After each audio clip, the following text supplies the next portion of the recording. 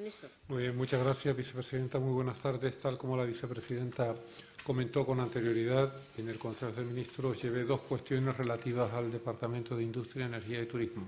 Una de ellas tiene que ver con el Plan Nacional de Ciudades Inteligentes y una convocatoria de la entidad pública mercantil Red.es que hace dentro del contexto de ese plan y luego un informe de seguimiento del Plan Nacional Integral de Turismo y la situación y evolución del sector turístico en la actualidad.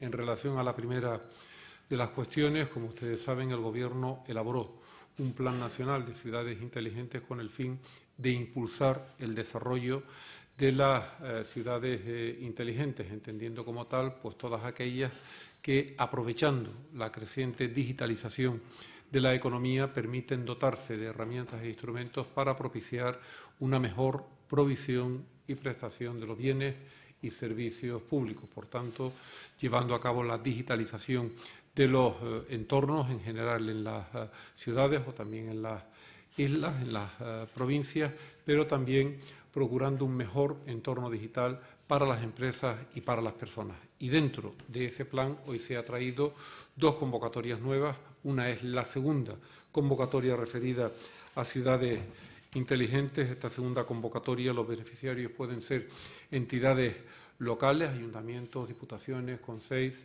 eh, cabildo de más de 20.000 eh, habitantes. Tiene un presupuesto total, esta convocatoria, de 48 millones eh, de euros. la cuantía máxima por proyecto solicitado puede ser de 8 millones de euros y la finalidad fundamental de esta convocatoria es orientarse a proyectos que introduzcan una mayor eficiencia en cuanto a la gestión de los servicios. La segunda convocatoria hace referencia a aquella de islas inteligentes, aplicadas, por tanto, al caso de la Comunidad Autónoma de Baleares y también la de eh, Canarias. Los beneficiarios pueden ser cualquiera de las islas incluidas en estos dos archipiélagos. El presupuesto total es de 30 millones de euros y la finalidad son proyectos de mejora de los servicios públicos a través de una mayor utilización de tecnologías para la información y la comunicación.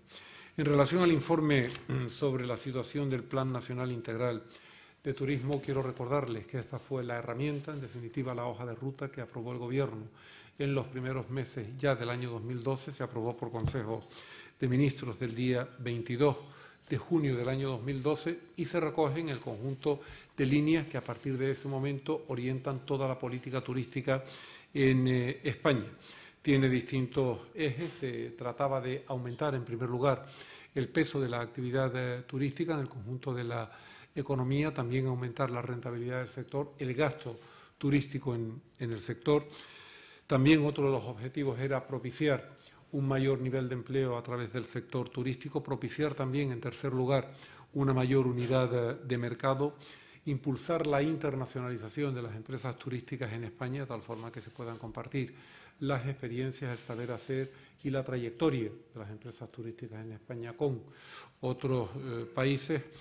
Se pretendía también aumentar la notoriedad de la marca España como paraguas que engloba cualquier tipo de oferta turística y sin perjuicio de que luego pues cada provincia, cada isla o cada comunidad autónoma o cada destino específicamente pudiera hacer también su propia promoción, pero la marca España es algo que suma, nunca eh, resta. Y también, por último, una mayor participación del sector privado en el conjunto de toma de decisiones en el ámbito de las políticas eh.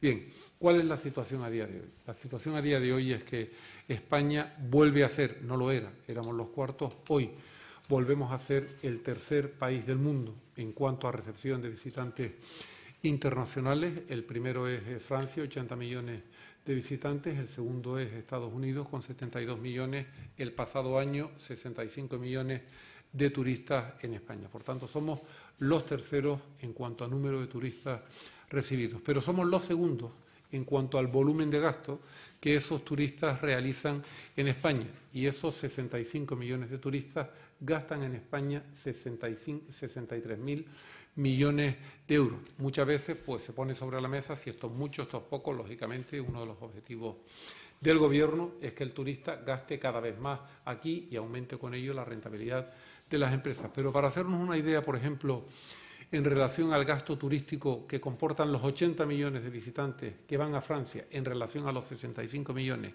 que aquí nos visitan, aquí esos 65 millones gastan 10.000 millones de euros más que los 80 millones de turistas que van a Francia, por cuanto en Francia el gasto turístico es 53.000 millones, en España 63.000 millones. Pues bien, terceros en visitantes, segundos en gasto turístico, pero somos los primeros del mundo en cuanto a competitividad turística internacional.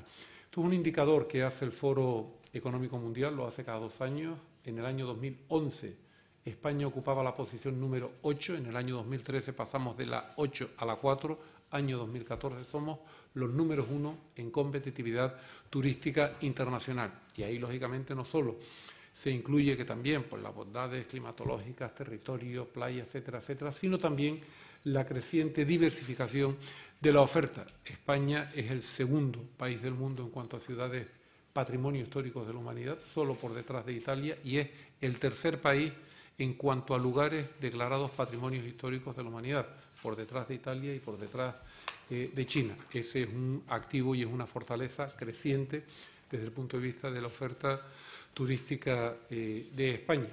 Y también, lógicamente, uno de los grandes activos y fortalezas que tenemos en España es el de la seguridad. Seguridad en el sentido amplio del término. No solo la seguridad con la que los turistas pueden moverse en nuestro país, sino también seguridad desde el punto de vista del Sistema Nacional de Salud. Cualquier turista va a cualquier servicio autonómico de salud en cualquier comunidad autónoma y es atendido con estándares de calidad que son, desde luego, valorados de una manera muy alta por parte de los eh, turistas. Y todo ello conforma esa competitividad internacional, unido al hecho, también lo dice el estudio del Foro Económico Mundial, unido al hecho de la prioridad que en el conjunto de las políticas públicas se le da a la política de eh, turismo.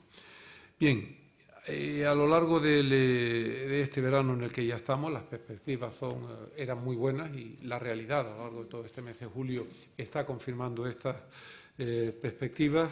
Todo eso está influido, lógicamente, en primer lugar, porque los niveles de renta disponibles en las economías de los turistas que nos visitan fundamentalmente, Reino Unido, en Alemania y en Francia, están mejorando, pero también está influyendo otro hecho, y es la recuperación económica en España, la recomposición de los niveles de renta disponible, aumento del consumo y, por tanto, también aumento del consumo turístico. Los españoles estamos viajando más dentro y fuera eh, de España.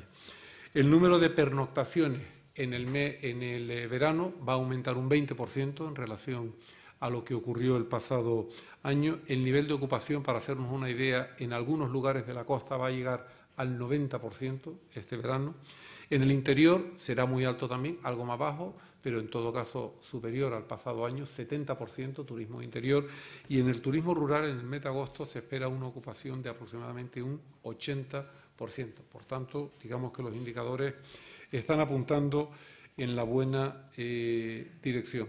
Si todo continúa así, estamos a ritmos de crecimiento en cuanto a número de turistas por encima del 5%, pues muy probablemente este año será un año nuevamente récord en el sector turístico. Todavía quedan seis, cinco meses, lógicamente, pero creo que estaremos por encima de lo que obtuvimos el pasado año 2014.